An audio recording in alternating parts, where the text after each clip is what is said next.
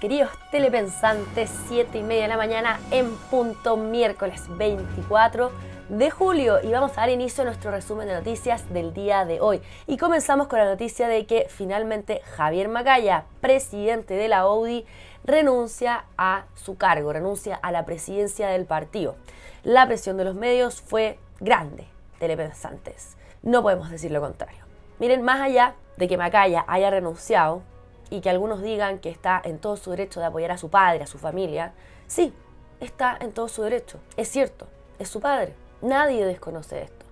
Recordemos que, para los que no estaban al tanto, eh, las declaraciones de Macaya en el programa de política del domingo hicieron que se desate toda una ola de críticas en las plataformas digitales, en los medios de comunicación tradicional, por básicamente desconocer la evidencia que condena a su padre por abuso de menores pero entendamos entonces que él tiene una posición política, una posición de poder, que él debe respetar a las instituciones y poner el bien superior del país, el bien de los niños. Porque no es un ser humano, un ciudadano común y corriente. Él pudo haber guardado silencio, apoyando a su padre, sí. Pudo ser mucho más mesurado en sus declaraciones, porque todo este conflicto no se genera el día del fallo de su padre. Este conflicto se genera luego de sus declaraciones en el programa de política del domingo. Les voy a leer el comunicado de Macaya. Frente a la sentencia que afecta a un integrante de mi familia, reitero mi profundo respeto al Estado de Derecho. ¿Ven? Ahí ya está asumiendo su error. Las decisiones de la justicia y manifiesto mi, ferro, férreo compromiso con los derechos de los menores involucrados en, en dicha situación. El país enfrenta desafíos enormes, problemas muy severos que están afectando a millones de chilenos, en un cambio que urge rectificar.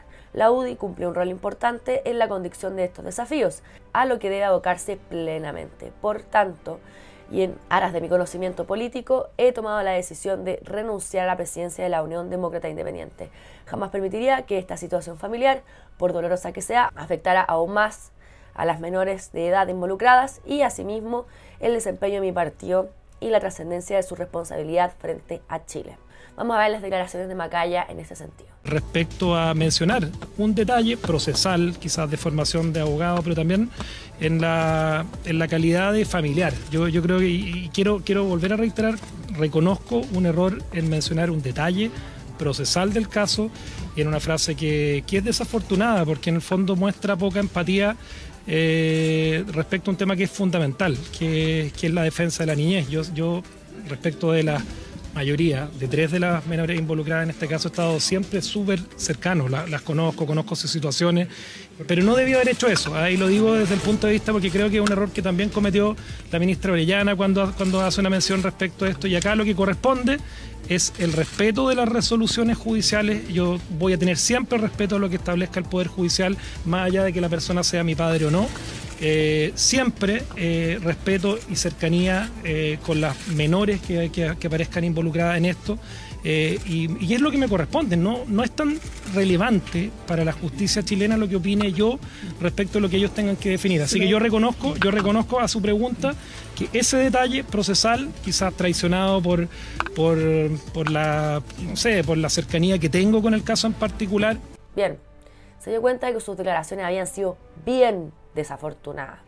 Y da como pena, yo sé, quizás para usted, de decir, pucha, que como él no tiene la culpa de los crímenes de su padre, pero que no les dé tanta pena telepensante. Él entregó nuestra constitución dos veces. Tampoco es que sea un buen ser humano. Fíjense que el abogado de Eduardo Magalla, en el caso, es el marido de Patricia Muñoz, la ex indefensora de la niñez. La Patricia Muñoz es quien hizo esta canción para los niños de saltarse el torniquete. Es de ultra super izquierda. El marido de Patricia Muñoz es el abogado defensor de Eduardo Macaya, del padre de Javier Macaya. ¿Y saben quién más es parte del equipo de abogados del señor Eduardo Macaya? Es que no lo van a poder creer. El señor Manríquez. Sí, abogado del que hemos hablado tanto. Es un abogado pro-Palestina que viajó a La Haya a demandar a Israel, que nos deja en el fondo apoyando a grupos terroristas como Hamas. Luego pasó por el caso del exteniente Ojeda asesinado en nuestro país. Se lo puso Chaguán a la viuda de Ojeda. También fue abogado de Meo, Marco Enrique Minami. Luego abogado de Daniel Jadwe. Este es el señor Manrique. Abogado del exdirector de la PDI, que le mandaba información al controversial y corrupto abogado Hermosilla. Bueno, ese es el señor Manrique resulta que también es parte del equipo de abogados de Eduardo Macaya. Fíjense que el mismo día en que la Corte de Apelaciones de Rancagua le concedió la libertad, el Tribunal Constitucional notificó a las partes de un rechazo rotundo a un recurso de inaplicabilidad presentado por la defensa del padre del presidente de la UDI, ejercida por el abogado Juan Carlos Manríquez, quien en noviembre del año pasado presentó dicha acción, la que buscaba evitar su encarcelamiento en caso de ser condenado. Imagínense usted, el señor Manríquez, irá ahora a la cárcel el señor Eduardo Macayo, ¿no? ¿Qué descalabros trajo todo esto? Luego de que la semana teníamos a la izquierda de espalda contra la pared por toda la crisis de inseguridad, bueno, ahora el tema es Macaya. Bueno, vamos a ver la superioridad moral de Boric ahora. Hay o existen tipos de privilegio según de dónde venga una persona. Y acá lo que hay que tener claro es que la justicia se legitima en la medida en que todos somos iguales ante la ley. Y por lo tanto, nosotros desde el gobierno lo que señalamos es que nadie puede tener ningún tipo de privilegio.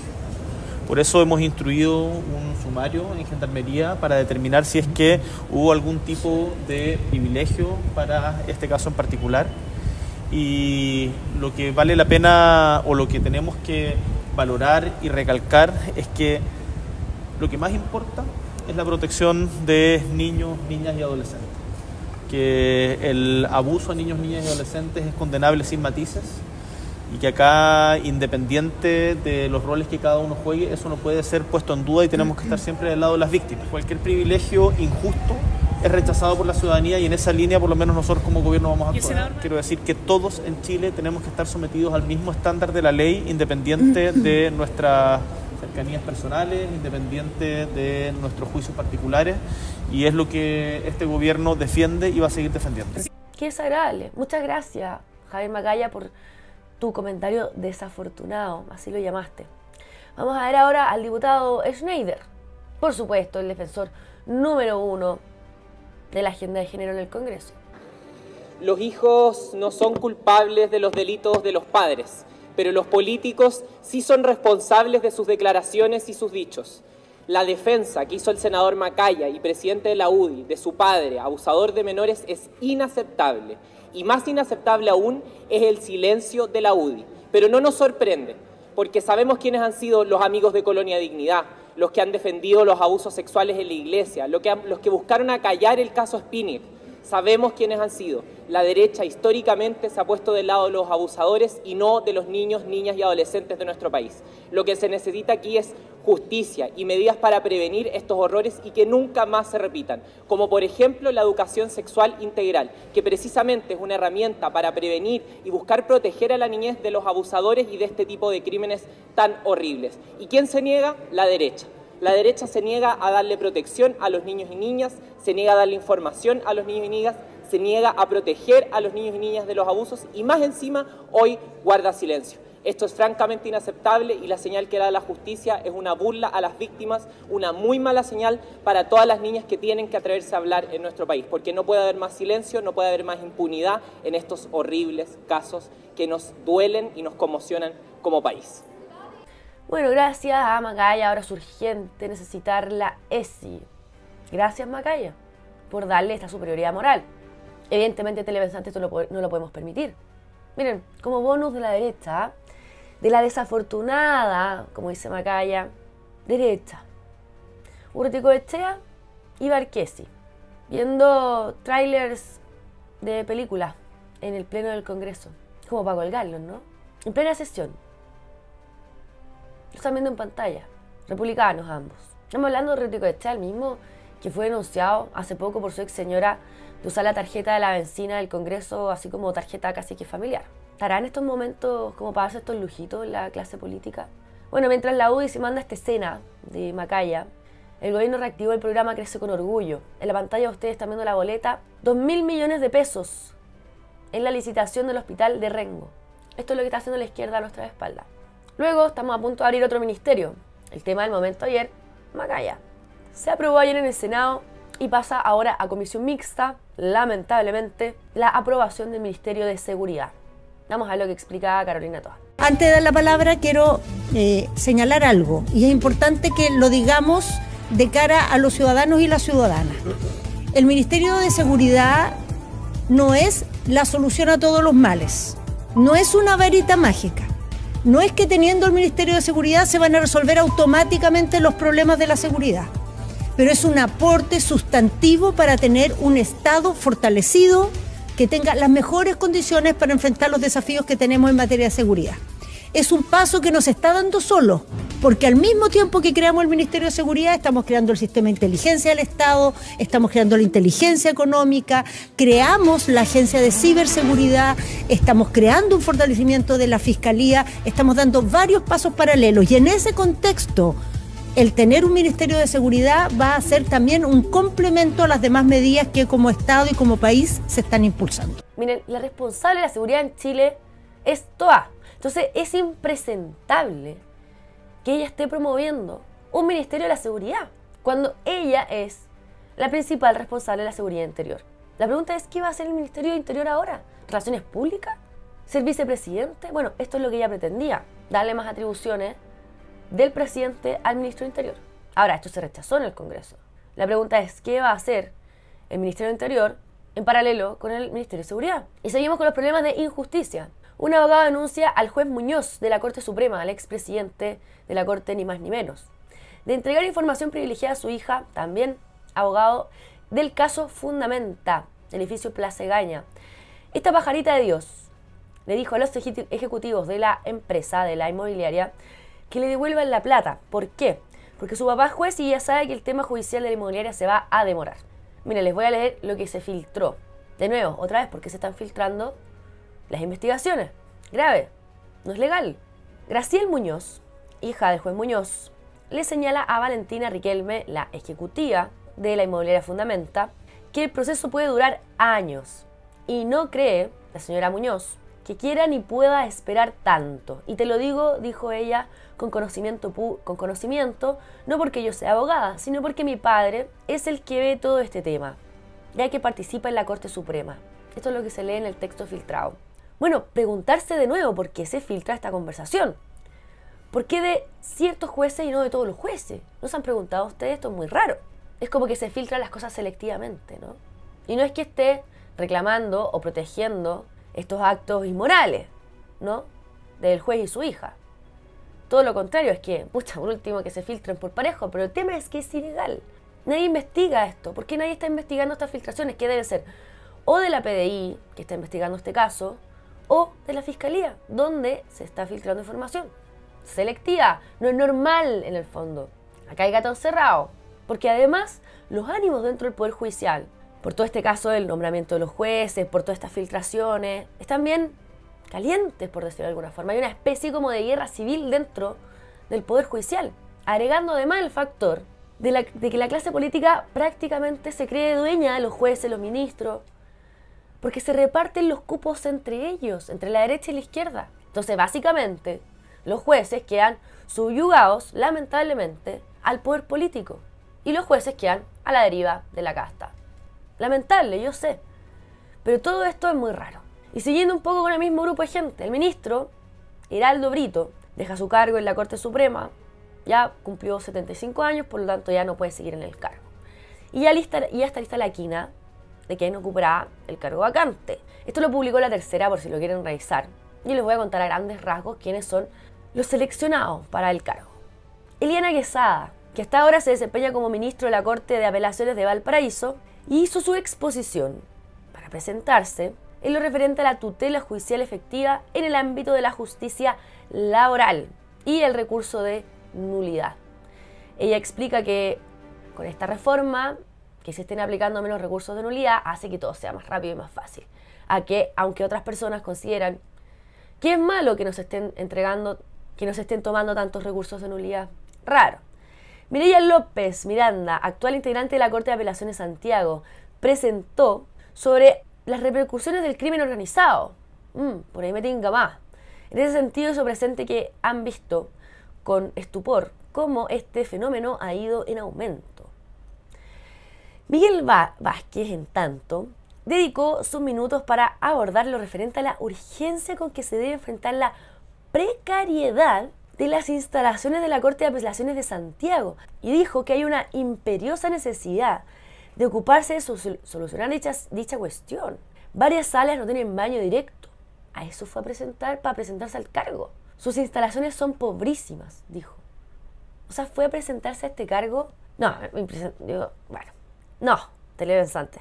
Nadie puede. Y Roberto Contreras, ministro de la Corte de Operaciones de San Miguel, expuso sobre los neuroderechos, dadas las nuevas posibilidades que se han abierto con las tecnologías y manifestó en ese sentido que se debe contar con regulaciones y sistemas de protección que permitan un mejor fluir de la naturaleza humana. Mm. Raro también. Raro. el progresismo que está impulsando todo esto. Además, él como ministro no debe estar preocupado de, la de, generar legislación, ¿no? Él es ministro, él debe hacer, él debe aplicar la ley, no legislar. Y siguiendo en el sistema de injusticia, le voy a leer el titular del mostrador, que es un medio que ustedes saben es de izquierda. Dice, algo huele mal. Los hechos que amenazan con desactivar la investigación contra Procultura. Estamos hablando del escándalo de fundaciones del Frente Amplio. En la causa hay decenas de teléfonos incautados, seis gobernadores como sujetos de interés criminal y casi 6 mil millones de pesos cuestionados a tres meses de los comicios de octubre de las elecciones en el fondo.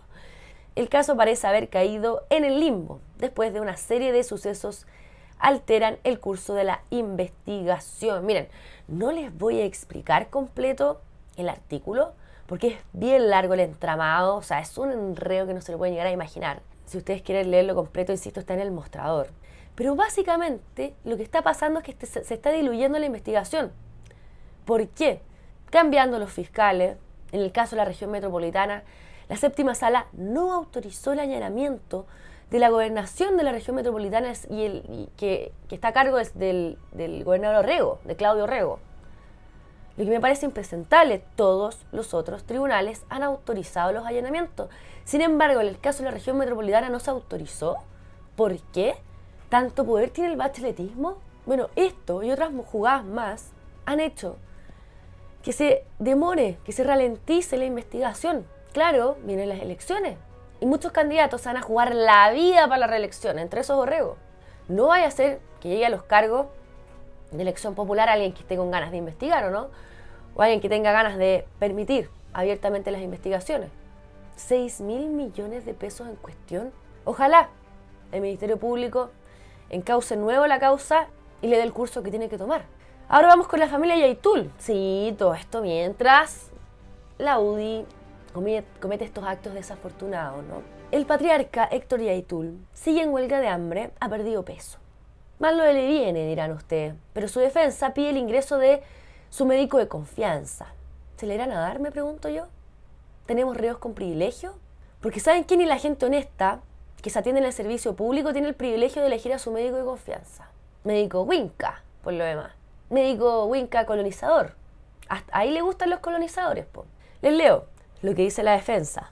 Él ha tenido bastantes molestias, bastantes dolores, mareos, etc motivo por el cual se solicitó por parte de la defensa para que sea evaluado y sea visitado por un médico de confianza. Bueno, ¿y qué coma, pues? Nadie lo está obligando a estar en huelga de hambre, esto es una pataleta para obtener más privilegio. Ahora, Ernesto Yaitul, hijo del rey de los privilegios, fue absuelto. Les voy a leer. Había sido condenado a 15 años de cárcel. En nuevo proceso, según el tribunal, la prueba valorada en su conjunto no permitió posicionar a los acusados en el sitio del suceso y a realizar las acciones que en la acusación del fiscal se le atribuyen, por lo que resultó forzoso absolver. Se le imputaba delitos de homicidio frustrado e intento de, incendio de camiones. No fue el único absuelto, por lo que ustedes podrán ver. Otros tres más. ¿Y saben por qué no pudieron probar que él estaba en el lugar del suceso? Porque tenía el rostro cubierto. Así es fácil. Es como las películas eso un pasamontaña poco menos. Entonces no sabemos cuál fue el delincuente. Parece broma, sí. Parece broma. Es el sistema de justicia en Chile. Obvio, el crimen sigue devastador en este país. Todo esto pasa segundo claro, sí, por los desaciertos de la derecha. Frente a esto, el gobierno publica ley de reglamento a los funcionarios policiales de Carabinero y la PDI para el uso de cámaras. Deberán grabar sus actuaciones y procedimientos en lugares públicos de libre acceso al público, valga la redundancia, y en lugares cerrados cuando realicen detenciones en fragancia y registros con o sin autorización judicial. 13 páginas tiene esta, esta ley. este documento, que es tan solo para que la PDI y Carabinero usen cámara y básicamente graben todo. 13. La locura dirán ustedes, sí. ¿Saben cuál es el problema de todo esto? Es que cuando estos reglamentos son tan complejos, estas leyes son tan complejas, basta que Carabinero la PDI se mueva un centímetro de lo que está escrito ahí, como para que las pruebas, por ejemplo, sean declaradas fuera del marco de la ley, que no se ajustan al procedimiento. ¿Qué puede ser tan complejo como para que haya que escribir 13 páginas de cómo se deben usar las cámaras? Burocracia me parece todo esto, telepensantes, burocracia. Obviamente tiene cosas buenas, ¿ah? como que se debe mantener la confidencialidad de la información, claro. Y bueno, las sanciones para los carabineros son no tan altas, eso también es bueno. Ahora, como si esto fuera poco, la ministra del Trabajo ultra izquierdosa, Janet Jara, comunista, insiste en su reforma de pensiones. No conforme con esto, hay otros parlamentarios que están impulsando el retiro de platas de las AFP. Hay cinco proyectos en esa línea, parece que los van a fusionar en uno. Pero cinco proyectos tienen elecciones. Y hay que engañar a la gente entregándole plata que es de ellos mismos. Populismo, bondadosos políticos, ustedes ya saben. De paso aprovechan de rentar el sistema de capitalización individual. Bueno, vamos al caso de Janet Jara, al diario financiero, señor director. Mire, eh, el gobierno ha hecho un ejercicio importante de buscar acercamientos con la oposición en esta materia. Todo esto pensando en que esta es una reforma para los jubilados, para los futuros jubilados y en particular para las mujeres pensionadas. La verdad es que tenemos un acuerdo parcial que propuso algunos temas la comisión técnica eh, y lo que esperamos es que esto, luego de que se exponga este miércoles en el Senado por parte de la comisión técnica, se ponga en votación. Esa es la expectativa que tenemos como gobierno, que esto dentro del mes de julio se vote. Y lo queremos eh, pedir humildemente de nuevo a la oposición, que tiene la mayoría en el Congreso Nacional y que es la que define si se vota o no, este proyecto de ley porque tenemos una responsabilidad pública en esto, muy importante con las personas que están en sus casas. Esperamos que se vote, sinceramente. Creemos que es necesario, creemos que eh, las personas en sus casas de verdad que les falta de repente como sintonía o entender a los que estamos en política porque estamos realmente resolviendo otros tipos de temas y no los que a la gente le interesan. Y eso es muy delicado para un sistema político, hace que pierda legitimidad. Así que esperamos sinceramente que esto se vote dentro del mes de julio. Ese es el camino que esto sigue. Buenos días, ministra. Quería consultarle eh, en líneas relacionadas a la reforma de pensiones. ¿Cómo ven desde el Gobierno que mañana se comiencen a tramitar las propuestas de nuevos retiros de las AFP mientras siguen las conversaciones con parlamentarios respecto a la reforma de pensiones? Y también, ¿qué le parece la apertura de, de sectores de RN a votar a favor de un nuevo retiro de fondos? Eh, mire, respecto al tema de los retiros, sin duda a nosotros nos habría gustado llegar a esta fecha con la reforma bastante más avanzada. Eh, hemos tenido oportunidad de votarla con anterioridad, pero no hemos encontrado eh, la sintonía con la oposición para poder votarla. De hecho, el presidente pidió que se votara en mayo, luego en junio y ahora vamos en julio. Eh, los proyectos de retiro se empezarían a legislar o a tramitar mañana 23 de julio. Entendemos que son cinco iniciativas legales que se van a fundir, que están en la Comisión de Constitución. Nosotros como Ejecutivo no las vamos a apoyar, pero reiteramos nuestro llamado urgente a que la reforma avance. Miren, si hay algo con lo que concuerdo con Jara, es que la clase política está haciendo cosas que solo importan a la clase política. Vale decir, el Estado falló. ¿Por qué? Porque la primera función de un Estado es la seguridad de telepensantes. El orden público, señora Toá. Estar creando otro ministerio es impresentable. Y por eso, obviamente, estos globalistas destruyen los Estados-nación. Pero Jara, esto es seguir metiéndole la mano al bolsillo de los chilenos, mientras se gastan la plata, dos mil millones de pesos, en el programa Crece con Orgullo y no hay plata para mejorar las pensiones de la gente que lo necesita, ¿no? Tenemos que seguirnos metiendo en el bolsillo de los chilenos, Jara, y presentarle. Convengamos que además el sistema de reparto es insostenible, están naciendo 1,2 niños por año. Prontamente tendremos una población jubilada mayor a la fuerza laboral del país. Pan para hoy, hambre para mañana, si esto no tiene por dónde funcionar. Bueno, y por otro lado, ustedes ya saben que esto no es una reforma a, a las pensiones. Esto es una revolución al mercado de capitales. Ya lo hemos hablado antes. Nefasto. Luchadores sociales son detenidos por el gobierno opresor de Boric. Así hablaban ante los medios, ¿ah? ¿se acuerdan? Bueno, esto pasó el lunes, pero no tuvimos tiempo de hablarlo. Estudiantes secundarios de la Asamblea Coordinadora Estudiante, ACES y manifestantes de la Red de Solidaridad Estudiantil, los miembros del grupo de luchadores de lo Hermida y pobladores del campamento Dignidad exigen soluciones habitacionales. Y miren lo que dice, como que da un poquito de pena. Estamos cansados de que desde los distintos gobiernos su respuesta a nuestras demandas sea que no hay plata. Llevamos años exigiendo soluciones habitacionales.